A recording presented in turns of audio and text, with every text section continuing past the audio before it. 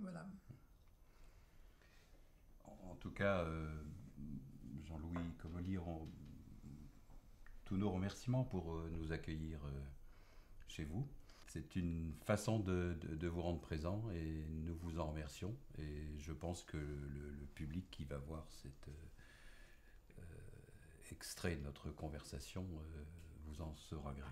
Ben, on a vu pendant ce fameux confinement euh, on a vu euh, que les, relations dites virtuelles, mmh. euh, un terme qu'il faudra un jour ou l'autre réinterroger sérieusement, que ces relations, bah, d'une certaine façon, présentaient des avantages inouïs plutôt que le réel.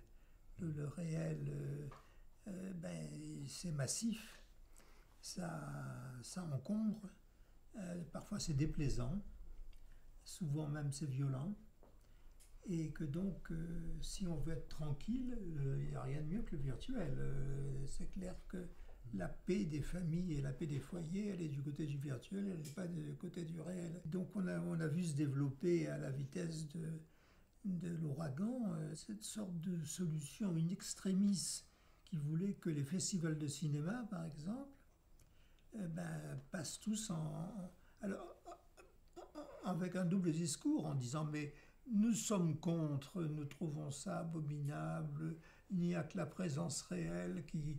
Bon, euh, se discute aussi, euh, euh, parce que la présence dans un festival, c'est pas tout à fait la même chose que la présence comme la nôtre à l'instant.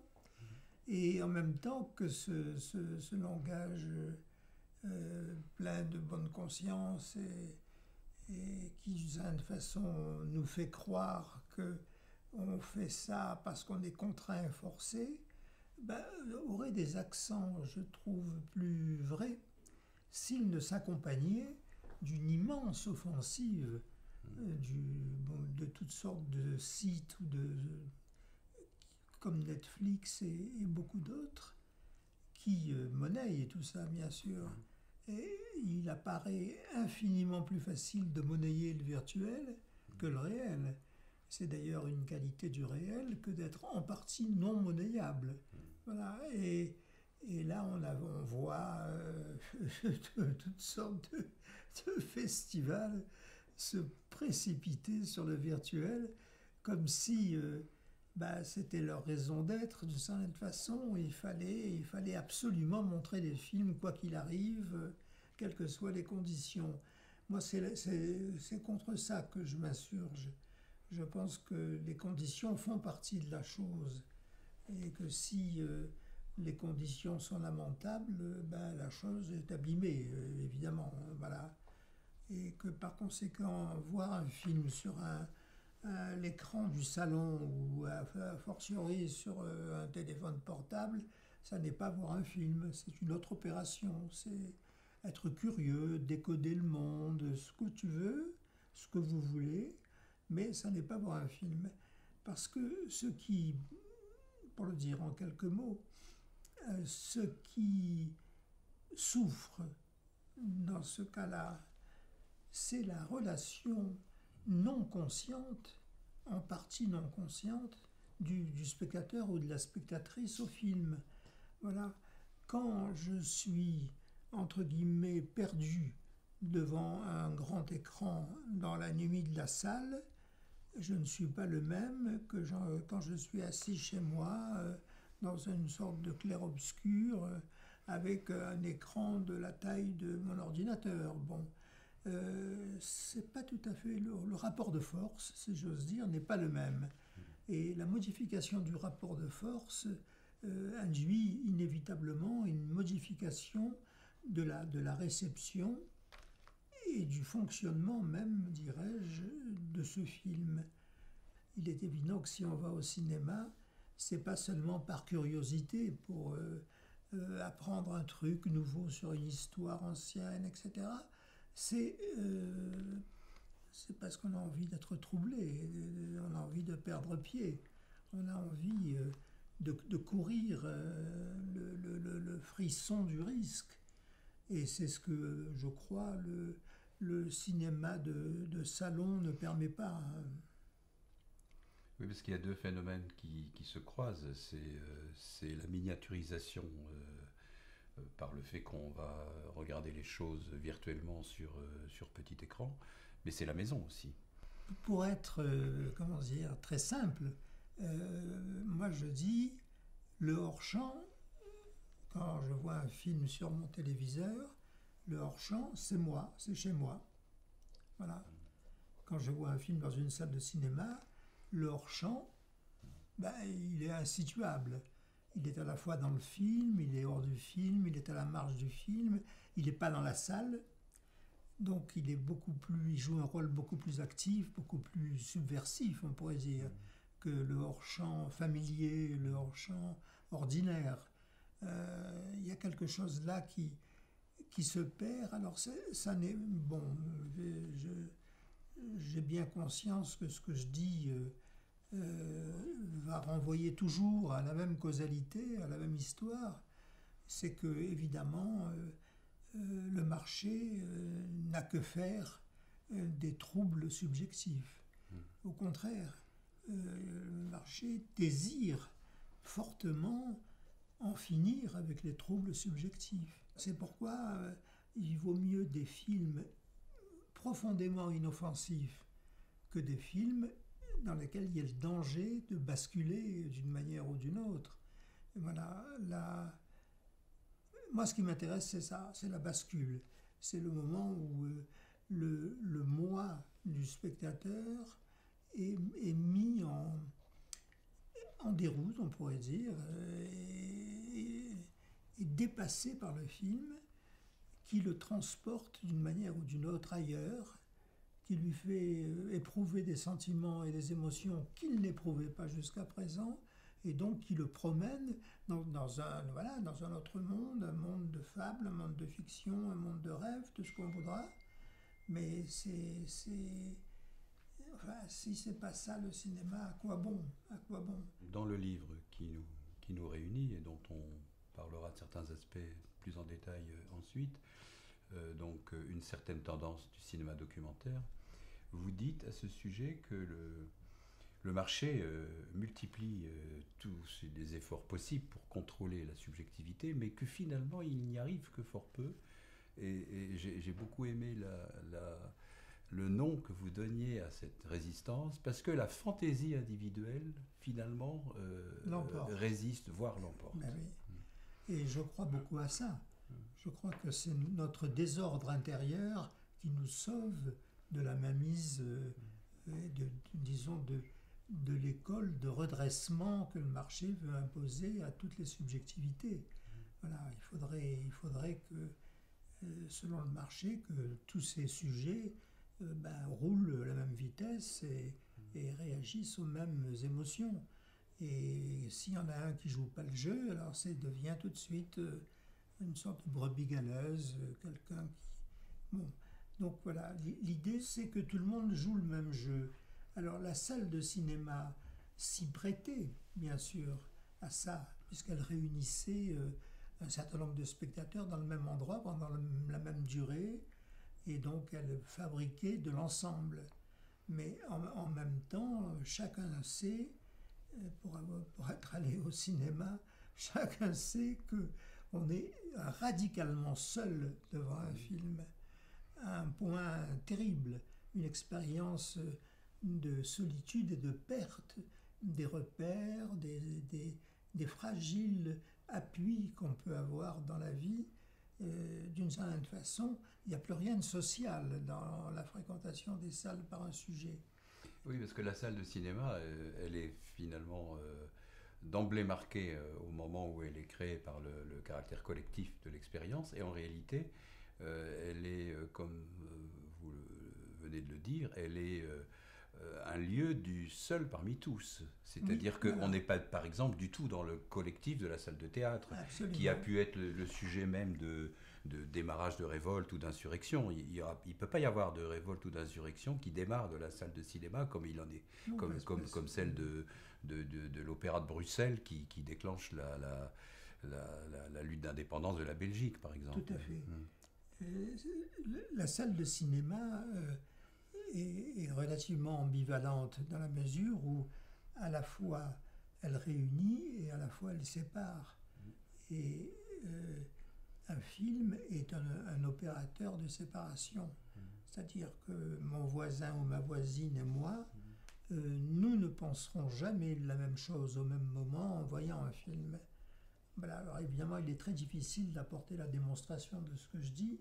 Pourtant, c'est l'expérience que nous vivons quand nous allons au cinéma. Nous vivons cette expérience d'une émotion propre à nous, euh, qui n'est pas celle du voisin, même si on rit au même moment, ou même si on pleure au même moment, la qualité de ce rire ou de, ou de ces larmes est la nôtre, est nôtre. Voilà, et, c'est cette extrême subjectivité, mais euh, vraiment portée à intensité, qui caractérise la place du spectateur.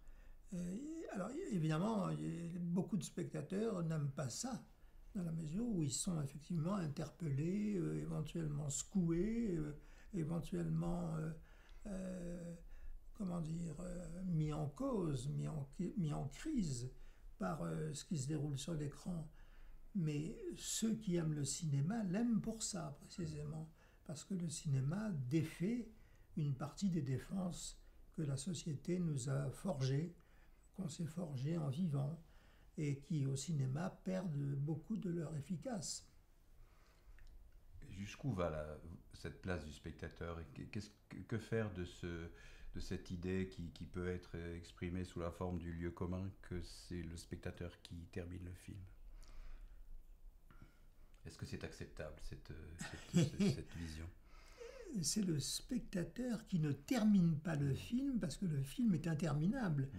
et qu'il y aura autant de films et de fins de films que de spectateurs. Mmh. Donc on est dans, une, dans un conte qui sera toujours un méconte et dont personne n'arrivera à globaliser le, résultat. Dans, le, dans ce livre, euh, une certaine euh, tendance du cinéma documentaire, euh,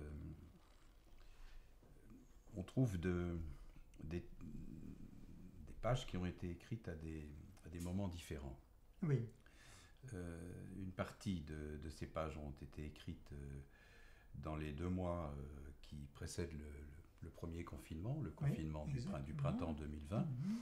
Et euh, ces pages qui ont été euh, laissées euh, telles quelles sont précédées d'une longue introduction, si je puis dire, qui est écrite, elle, après le, confinement. Alors, on a, on a entre les, deux textes euh, à la fois l'expérience du confinement, mais on a aussi un, événement qui avait euh, suscité l'écriture de la partie euh, écrite d'abord. 16 points. On sait que Jean-Louis Comolli parsème ses, textes d'un découpage en points, 16 points. Donc ce n'est pas la déclaration des 16 points de, de la révolution culturelle, quoique je souhaite à ce, à ce à ce livre euh, un succès de, de livre manifeste. Euh, c'est un, un, manifeste qui ne dit pas, mais qui, qui, joue le manifeste, hmm. c'est clair.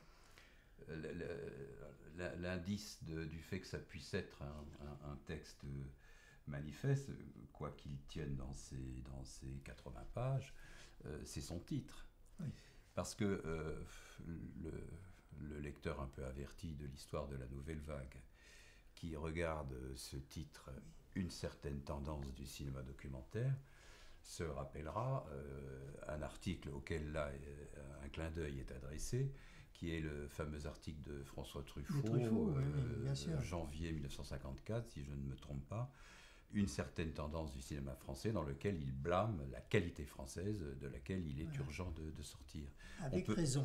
Voilà, on, peut, peut-être un peu euh, Bon, la, différence principale pour moi, elle est historique, au sens où, euh, au moment où Truffaut a écrit, euh, le cinéma était arrivé à un certain point de son développement économique et artistique.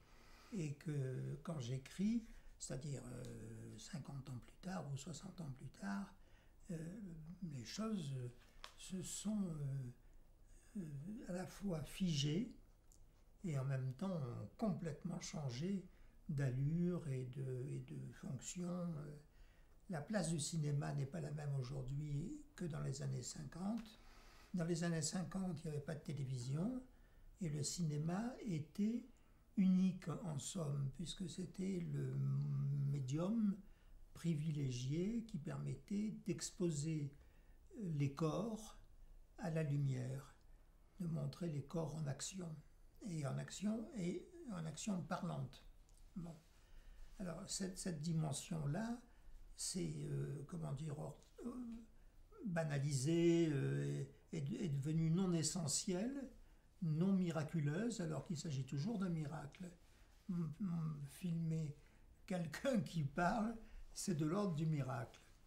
Et ça a été évidemment totalement réduit à trois fois rien, à, de la, à, une sorte d'échange sans, sans, sans valeur, sans, sans, enjeu. Euh, et, donc, euh, il y a eu une dévaluation très violente de la place euh, du corps, d'une part, et du corps parlant, d'autre part. Les deux ont été réduits à peu de choses dans le cinéma, et ne parlons pas de la télévision, où les désastres, les dommages sont bien plus grands. Ça me pose question. Ça me pose question pourquoi? Parce que je maintiens que le cinéma est né comme un art populaire. Si le cinéma a fonctionné, c'est parce qu'il était populaire. Par populaire, on entend à la fois le nombre des spectateurs, leur quantité, mais on, entend aussi leur qualité. C'est-à-dire, il y avait tout le monde pouvait aller au cinéma et aller au cinéma dans la même salle. Il pouvait y avoir des ouvriers, des chômeurs, des patrons, etc. Euh, un grand mélange de, de, de, classes sociales et, d'aspirations même. Donc des gens très différents les uns des autres et euh, qui, ont, qui ont permis d'avancer l'hypothèse de quelque d'une sorte de, de, puissance universelle du cinéma, mmh. pouvant parler à tous. Bon c'est pas si simple. Hein, ce que je dis là, euh, pas beaucoup de choses dans notre, mm. dans notre culture ou dans notre histoire qui peuvent prétendre parler à tous.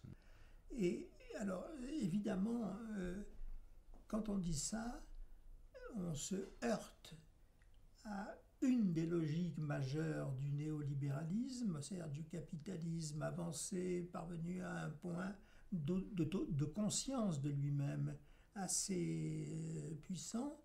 Euh, ben oui, parce que pour, pour vendre, il faut segmenter. Ce, genre de calcul était contraire à l'esprit du cinéma, euh, profondément. Et quand, quand ce, type de calcul a pris le pouvoir, en définitive, c'est évidemment les, les, les, premiers producteurs en sont les, les responsables. C'est eux qui se sont mis dans les mains des banquiers qu'il y avait de l'argent, euh, voilà, les banquiers étaient tout à fait prêts à investir dans le cinéma, mais à condition que la rentabilité soit davantage garantie. Alors que le, le, cinéma dit universaliste ou populaire, moi je dis cinéma populaire, euh, on lance les dés et on ne sait pas très bien sur quelle face ça va retomber. Voilà. Donc garantir les chemins, garantir le tapis, c'est devenu une préoccupation. Et pour garantir, la réponse a été euh, segmentons le public. Alors comme on ne peut pas faire un contrôle à l'entrée, on a fait un contrôle euh, par les films eux-mêmes qui euh, ont joué tel jeu ou tel autre jeu. Voilà, et donc pour moi le déclin du cinéma commence là. À ce moment-là se met en place un processus qui vise à euh, spécialiser le cinéma dans certaines fonctions. Voilà. Et 90% des films que nous voyons sont des films spécialisés euh, qui, s'intéressent à une fraction du public qui n'ont aucun intérêt pour le reste du public euh, dans les deux sens Et, donc, on est sorti de ce fantasme, peut-être, mais un beau fantasme de l'universalité du cinéma. Notre conversation s'est ouverte parce que vous avez appelé dans la conjoncture de, la pandémie et, dans la grande aubaine qu'elle a constituée pour le capitalisme numérique, la ruée vers le virtuel, euh, que, vous, que, caractérisez dans ce, livre comme l'exclusion euh, des corps vivants de leurs propres relations. Mais euh, jusqu'à présent, étrangement, votre propos porte sur le cinéma dans sa généralité alors qu'on est autour d'un ouvrage euh, qui se propose de réfléchir euh, ce qui arrive au cinéma documentaire. Le cinéma est toujours documentaire. Mmh. C'est-à-dire que, comme le disait euh, de façon ramassée et vive Jean-Luc Godard, Le Mépris, qui est un film de fiction tiré d'un roman, Le Mépris est un documentaire sur le corps de Brigitte Bardot. Bon, je trouve que cette phrase dit tout. Euh, voilà, euh, la fiction est un documentaire sur le corps des comédiens, bien sûr. Bon, il y avait une autre phrase à laquelle je tiens beaucoup. C'est une phrase très simple de Christian Metz, qui était un grand sémiologue. Euh, Christian Metz disait tout simplement Tous les films sont des films de fiction. Et oui, ben, dans la mesure où ils ne poussent pas sur les arbres, où la nature n'étant rien dans leur euh, apparition et dans leur mise en circulation, euh, tous les films sont des films de fiction. Alors quand, on est armé de ces deux pensées, on, voit bien que les différences entre fiction et documentaire sont gonflées artificiellement, qu'en fait euh, il y a plus de commun que de spécifique, que le commun en question eh ben, c'est le fait qu'il y a une machine qui filme des corps. Voilà. Et que la, la machine caméra euh, n'a pas besoin de savoir si elle filme un documentaire ou une fiction. C'est au-delà de ses, de ses capacités, de, de, de ses soucis. Voilà. Donc, euh, euh, la, la, la puissance du cinéma tient à cette ambiguïté, à cette dualité plutôt, qu'il y a à la fois de la fiction et du documentaire, il y a à la fois de la distance et de la proximité. Euh, disons que euh, la machine, la caméra machine, a, permis de comprendre que la plupart des principes qui étaient à l'œuvre dans le geste cinématographique étaient des principes ambigus des principes ambivalents qui, pouvaient euh, être et ne pas être, jouer leur, leur contraire. Bon, le, dès, dès, le troisième ou le quatrième film, euh, Démolition de murs, mmh. on sait que euh, le même film, exactement le même, sans aucune différence, si je le passe à l'endroit, le mur est démoli, si je le passe à l'envers, le mur revient. Voilà. Bon, ça, à l'époque, ça, ça, ça, a suscité un énorme malaise parce que euh, c'est évidemment prendre euh, le, temps à rebours et nous dire on remonte le temps, on peut remonter le temps. Alors aujourd'hui, c'est devenu banal. Euh, les, les, les, trucages, les fameux trucages numériques adorent ce genre de, choses et on en voit tout le temps et partout. Et d'une certaine façon, ça a perdu tout intérêt. Mais ne pas oublier, c'est à mon avis une des, une, des clés de ce que j'appellerais la pensée critique du cinéma, euh, c'est ne pas oublier que toutes ces choses étranges et bizarres ont commencé par choquer, par étonner, par apparaître peu naturelles aux gens du métier. Bon, je cite souvent euh, ce moment incroyable où euh, Alexandre Promio, un des, opérateurs lumière envoyés à travers le monde pour filmer le monde, euh, Promio se trouve à Venise, alors il a l'idée saugrenue de monter sur un, bateau, vaporetto, et là il filme. Le, bateau, lui, descend le cours du long canal. Et dans son cadre, Fromio, qu'est-ce qu'il voit? Il voit les immeubles qui bordent le, grand canal. il les voit bouger. Et donc c'est une sorte de révélation. Ça n'est pas moi qui bouge, c'est les immeubles qui bougent. donc il y a une sorte d'inversion. Et il a fallu tout un travail mental à des générations, aux premières générations de spectateurs, pour accepter ce principe que quand on voit bouger de l'immobile, c'est que ben, il y a quelque chose qui, qui se passe et qui est antinaturel. Voilà. Donc le cinéma euh, procède euh, souvent par des effets antinaturels, contre, contre évidence, anti-évidence, comment dire ça. Voilà. Vous dites qu'il y a euh, quelque chose de, je vous cite, de révélation d'un écart entre le jeu JE social et le jeu JE filmé, qui est propre au documentaire, et vous en induisez euh, l'idée que dans le cinéma documentaire, plus que dans les films qu'on appellera avec tous les guillemets nécessaires de fiction, il y a en jeu une question de dignité. Et une question de dignité de la personne filmée et une question de responsabilité du filmeur à l'égard de la personne filmée. On ne fait pas la même chose avec euh, des, personnes qui sont devenues des personnages d'un film documentaire qu'avec des acteurs, etc. Donc, euh, peut-être faut-il euh, préciser cela? Alors là, vous touchez un, point tout à fait névralgique, dans la mesure où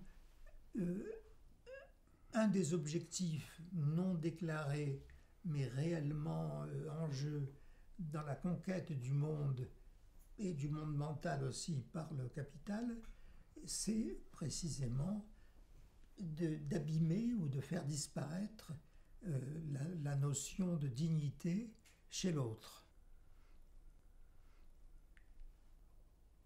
Filmer, c'est installer un rapport de force. Il y en a un qui a la caméra, pour simplifier, hein, ou il y en a un qui a l'équipe, et, l'autre, l'acteur, euh, qu'il soit professionnel ou qu'il soit ramassé dans la ruelle, l'acteur, lui, n'a rien. Là, il a sa vie, euh, ses souvenirs. Euh, bon. Alors, l'acteur non professionnel et donc en principe non rémunéré, même si il arrive qu'on leur donne des défraiements pour euh, voilà que ça leur coûte pas cher en plus. Bon, cet, acteur ne peut jouer que lui-même. Il ne, peut pas être devant une caméra autre chose que ce qu'il est euh, tous les jours devant ses copains, devant sa femme, etc. J'arrive avec des machines, une équipe et tout ce que vous voudrez, et donc je représente une puissance, et en face de moi, celui ou celle qui est filmé, bah, sa façon euh, porte elle aussi euh, euh, une certaine puissance puisque, au fond, personne n'est obligé d'être filmé. Si on est filmé, c'est parce qu'on le veut bien. Bon, si j'ai eu souvent des refus, des, gens que je trouvais formidables, qui me plaisaient beaucoup, et qui m'ont dit non, il n'en est pas question. Bon, ben, il n'en est pas question, voilà, je n'ai aucun moyen de pression, je n'ai aucune possibilité de forcer la personne en question à jouer dans mon film. Donc le rapport de force est dans les deux sens. Bon, je suis convaincu que celui que je filme est comme moi. C'est un alter ego, un autre moi. Alors évidemment, il est, autre, il est différent, il est, je sais pas, il est basané, euh, il est petit ou il est grand, mais la même dignité d'être nous réunit. Bon, je me réfère euh, euh, à l'école de Francfort, Alexandre Honnête, qui a beaucoup écrit là-dessus, la reconnaissance, la dignité, le fait que entre deux autres, il y a une certaine équivalence, reconnaissance et égalité, et qu'il n'y en avait pas un qui était le bon et l'autre le mauvais. Bon, alors, dans le cinéma de fiction, cette répartition peut être subvertie, elle l'est la plupart du temps, mais elle l'est par des, des comédiens, des, des, des corps qui, qui, sont consentants à la chose et qui le font comme leur métier, et qui donc, d'une certaine façon, euh, ne souffrent pas eux-mêmes de cette situation d'infériorité dans laquelle on les place. Alors que si je, si je euh, filme euh, bah, vous ou quelqu'un comme vous et que je l'oblige à faire des choses dégradantes, bah, cette personne va en souffrir, enfin, va, va être traumatisée, va, va, être violentée.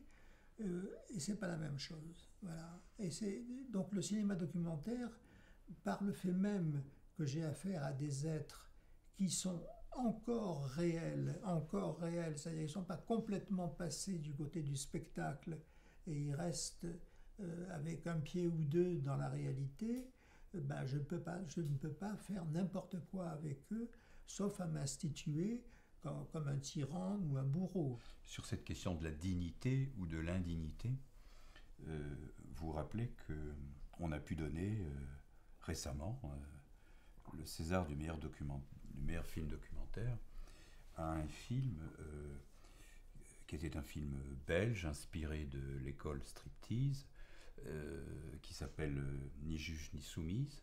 Et moi, je peux vous dire que la séance publique à laquelle j'ai assisté de ce film au moment de sa sortie dans, dans un cinéma lillois a été la plus cruelle expérience de spectateur ah que j'ai fait de ma vie, parce que trois quarts de la salle qui avait sans doute euh, exercé son, son, euh, son, sa pratique de spectateur en, fréquentant les, versions télévisées de la série Striptease, soit en Belgique, soit en France, était venu s'esclaffer euh, devant le spectacle d'assujettissement de, gens qui passaient devant la juge et qui étaient filmés avec indignité, la juge elle-même étant ridiculisait, et le film allant jusqu'à euh, filmer hmm. euh, la scène de, sortie euh, d'un cimetière, d'un cadavre en décomposition au titre d'une enquête. le spectateur que j'étais me disait, mais non, ils ne vont pas montrer le corps. Et ils ont montré le corps. Donc, alors là, on, arrive à cette, à cette reconnaissance de ce type de, cinématographie dite documentaire par toute une série d'institutions euh, qui sont euh, les télévisions, euh, certains festivals, les, les prix type César, etc. Bon, voilà, vous, vous, vous, vous nommez ce, ce, ben, ce, cas. écoutez, on est en train de, de, découvrir la Lune parce que, que c'est ce que notre, nos sociétés soient dirigées ou gouvernées à travers le mépris nous le savons déjà, euh, entre différentes classes sociales, euh, les patrons et les ouvriers, etc., euh, beaucoup de mépris circulent. Et ce mépris, ben, c'est aussi celui qu'on peut trouver dans, dans, le rapport de force qui met, comment dire, met l'acteur, met le personnage que joue l'acteur dans une position d'infériorité radicale. Voilà.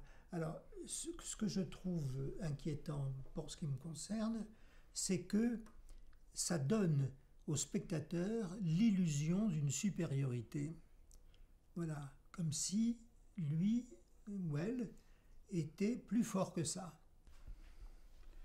Dans, notre, dans, notre, dans le déroulé de notre conversation, je ne peux pas euh, euh, laisser euh, euh, tarder le moment où, on, où, on, évoque ce qui a été euh, l'événement déclencheur de l'écriture de ces pages, euh, dont je disais qu'elles avaient été écrites juste avant le confinement du, du, printemps 2020, et qui, événement déclencheur, qui est le fait que un film que vous avez réalisé à partir de ce que vous appelez, au sens fort du terme, une conversation avec Nicolas Philibert sur son œuvre et sur les procédures de son travail et sur les approches que caractérise dans son travail chaque, chaque film et chaque projet de film, a été refusé de programmation au Festival du Réel qui se tient à Paris chaque, chaque printemps. Et, donc, on vous a euh, donné comme euh, motif de la non-programmation euh, le fait que, je cite, ce film n'apportait rien de neuf sur le cinéma de Nicolas Philibert. Et en fait, votre, votre texte est une réponse à cette, ce rien de neuf. Oui. Alors d'abord, je suis frappé, comme, comme beaucoup d'autres, je suis frappé par l'obsession de la nouveauté, l'obsession du neuf. et que je mets immédiatement au compte de la, de la victoire du marché, de la domination du marché. Il faut du neuf à tout prix. Alors cette obsession du neuf, euh, bon, sans, être euh, analyste, je dirais qu'elle elle renvoie évidemment à, à quelque angoisse. L'angoisse euh, de, renaître, de ne, pas, de ne pas périr, de ne pas être périmé. Alors, il y a ça, bien sûr. Et puis, euh, le commerce lui-même ne peut pas vivre sans euh, l'incantation permanente à la nouveauté. Alors, pour le commerce, c'est peut-être très bien. pour le cinéma, ça me paraît un vœu pieux qui a peu de chances d'être réalisé dans la mesure où la nouveauté euh, ben, ne se commande pas euh, comme une nouvelle carte du tendre. Euh, la nouveauté, elle, elle surgit, elle survient, elle surprend même celui qui fait le film ou celle qui fait le film. Et donc, on est dans un, dans un monde qui n'est pas déjà stabilisé. Alors, évidemment, le, le, cinéma est tombé dans le piège du commerce il y est tombé euh, peut-être la première et il y est toujours. Bon, euh, je ne sais pas si vous avez l'occasion de regarder les, les, affiches de cinéma euh, que qu'on met dans les villes, n'est-ce pas? Eh bien, je suis frappé par le nombre de films qui sont annoncés comme des pépites, par exemple. Alors, les pépites, il y en a, il y en a quantité. Jamais les, les chercheurs d'or euh, n'en avait trouvé autant. bon. Il y, a, donc cette, obsession de la chose rare, de la chose neuve, de la chose inouïe, euh, qui fait qu'il faut, il faut absolument courir euh, derrière. Cette folie du neuf est inquiétante. Elle est inquiétante parce que, d'une part, elle congédie l'ancien comme étant sans intérêt, on s'en débarrasse, on n'y pense plus, et ça c'est une erreur très grave, et, d'autre part, elle, amasse autour du même type d'objets nouveaux euh, des foules de consommateurs. On voit bien à quel point ça détruit l'essence même de la relation à l'art. Quelque chose est détruit. Et c'est pas pour rien, c'est parce qu'on veut le détruire. C'est pas du tout un hasard ou une, conséquence aventureuse, euh, c'est qu'il faut absolument que l'objet d'art devienne un objet de consommation, et la consommation signifie en gros que quand c'est consommé, c'est jeté. Voilà. Euh, un autre point euh, constitutif de, ce funeste événement déclencheur, donc la non-programmation de, ce film, c'est que euh, vous l'aviez construit comme euh, ce que vous appelez un, film de parole. Donc c'est un, un travail, euh, mais qui, vous a semblé être disqualifié au sens où tout d'un coup se trouvait disqualifié le filmage de la parole. Oui, c'est, une, vieille question, malheureusement. une certaine vision, je dirais presque naïve, euh, du cinéma euh, en fait euh, le foyer de l'action. Or, l'action, est, toujours vue comme une action physique. C'est-à-dire, on se jette sur l'ennemi, on, monte, on descend, voilà. donc, l'action, mais moi je prétends que l'action est parlée aussi, et que la parole est action, et que par conséquent, euh, euh, confronter des paroles, c'est un film d'action. Bon, la, fatigue des, programmateurs et aussi de certains critiques devant euh, la puissance de la parole a comme sens le fait que on ne veut pas y toucher. On ne veut pas y toucher parce que ça touche trop. Ça touche à trop de choses importantes qu'on préfère laisser de côté. Donc, euh, devenir sourd au cinéma, c'est un peu l'objet de, cette... Bon, moi j'ai été formé par des profs qui parlaient, évidemment. Et, puis, euh, je suis très jeune, euh, euh, j'ai été très jeune en contact avec un cinéaste québécois qui s'appelle Pierre Perrault. j'ai fait un film avec lui qui s'appelle L'action parlée, précisément. Et, et je reste très fidèle à cette idée. Euh, pour moi, l'action est aussi parler, et sinon même d'abord parler.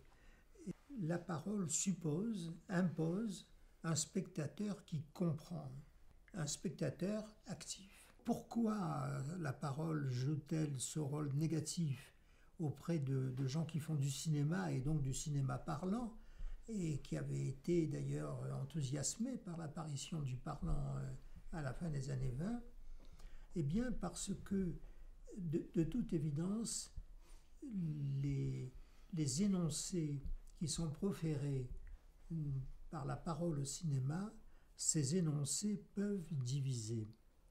Ces énoncés ne sont pas totalement neutres, ils ne peuvent pas l'être.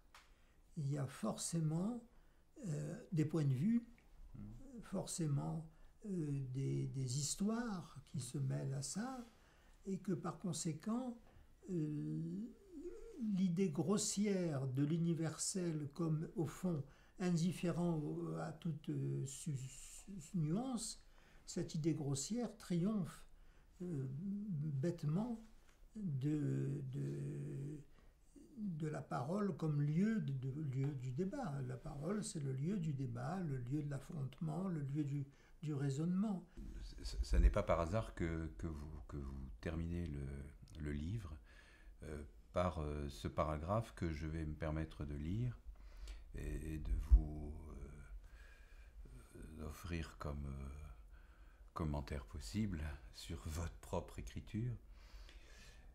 Et qu'est-ce qu'un cinéma de parole? Sinon celui qui parle à un spectateur ou une spectatrice en se croyant ou se pensant, imprudemment peut-être, digne de leur parler, de leur dire tout haut ce qu'ils sentent, que derrière les choses qui se disent, il y a celles qui ne se disent pas, et que jusque dans une conversation filmée, tout se donne comme énoncé, il y a ce qui n'est pas dit, qui joue, les couleurs, le vent, les corps, les accents. La parole filmée n'est pas extraite des corps et des lieux, elle les habite, elle les garde en elle. C'est comme un secret qu'on partage, en doutant de son importance, et finalement, c'est peu de choses, mais toi, mais moi, mais nous en faisons partie. La parole n'est pas ce qui se passe au loin, elle veut toucher, la main des mots caresse les ombres. Oui, ça, ça enfin, je, réponds sans répondre, mais j'avais en tête aussi le virtuel en écrivant ça. Bien sûr. Parce que. Toucher. voilà. voilà. Parce que euh, il n'y a pas que la parole, il y a le corps. Et le corps, euh, le corps, ça touche, ça se touche.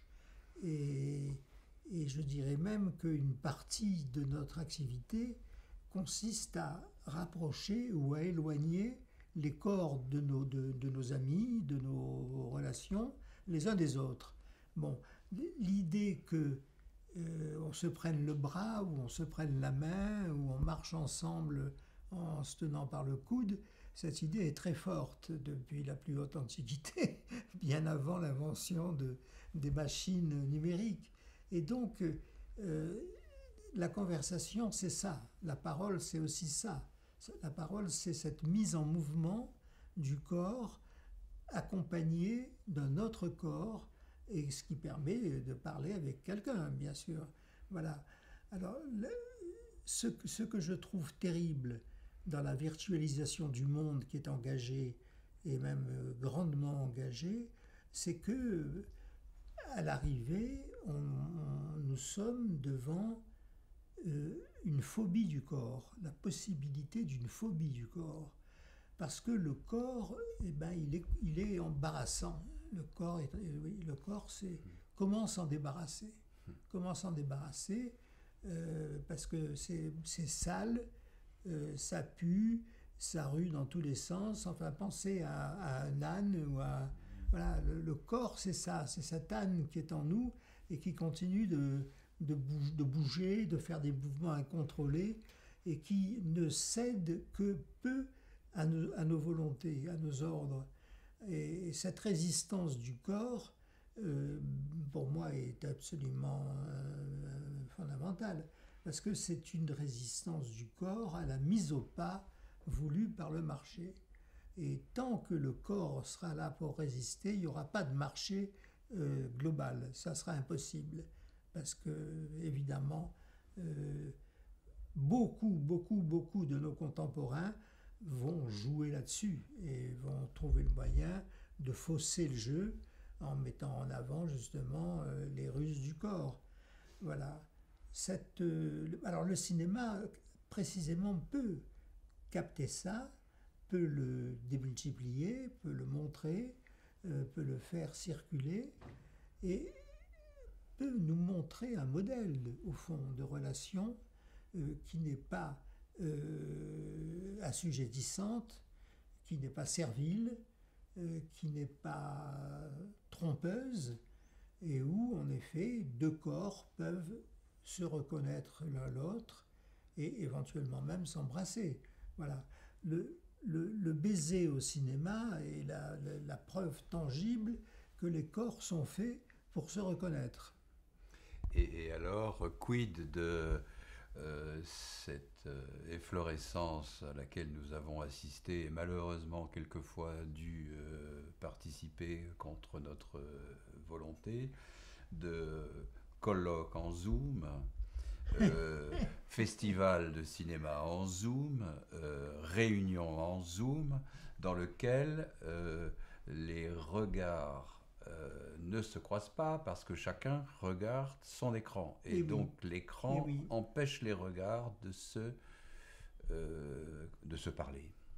Alors ceux qui euh, ont, ont, manipulé un peu de cinéma, même de façon très amateur, savent à quel point les raccords, les raccords de regard sont importants. Oui, euh, deux personnes se regardent. Si, je sens qu'elles ne sont pas en train de se regarder, mais qu'elles qu regardent autre chose et que c'est un faux raccord, alors ça, démolit quand même beaucoup la situation. Il y a une phobie du corps qui menace, qui est réglée de manière radicale par le virtuel. On préfère l'image du corps au corps alors c'était peut-être déjà vrai avec la peinture euh, au XVe siècle.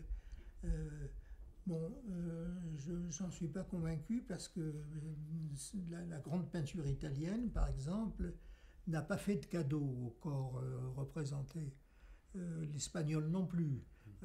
C'est des, corps non flattés et donc euh, montrés dans leur tard et pas seulement dans leur prestige ou leur beauté.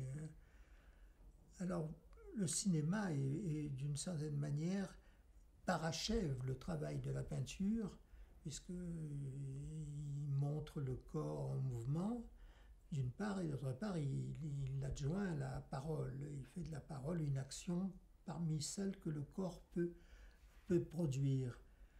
Et cet, accomplissement de la peinture dans le cinéma, qui pour moi a beaucoup de sens, fait que euh, le corps est le corps glorieux toujours. C'est le corps mis en valeur, le corps mis en avant. Pour euh, nous approcher de la, conclusion de cette, cette conversation, euh, vous passez par une, par une, une citation tout à fait intéressante de Günther Anders à propos de Marx et, et de la phrase de Marx la tâche désormais n'est plus d'interpréter le monde mais de le transformer où, euh, euh, euh, Anders dit aujourd'hui il ne suffit plus de transformer le monde, avant tout il faut le préserver, ensuite nous pourrons le transformer beaucoup et même d'une façon révolutionnaire. Donc Anders assume une position de conservateur pour la bonne cause. Voilà, c'est ça. Voilà. Et, et, je, je, je, lis ça au fait que j'ai compris dans, à, vous lire que la tâche que vous assignez au cinéma, elle n'est pas de transformer le monde, mais de, le, de réparer un monde abîmé. Oui, on peut dire ça comme ça, c'est très juste. Mais euh, je dirais aussi de, de, sauver de la disparition un, monde qui disparaît. Il y a ce, vous connaissez ces, ces films magnifiques de Vittorio De Ceuta qui s'appellent euh, Il mondo perduto.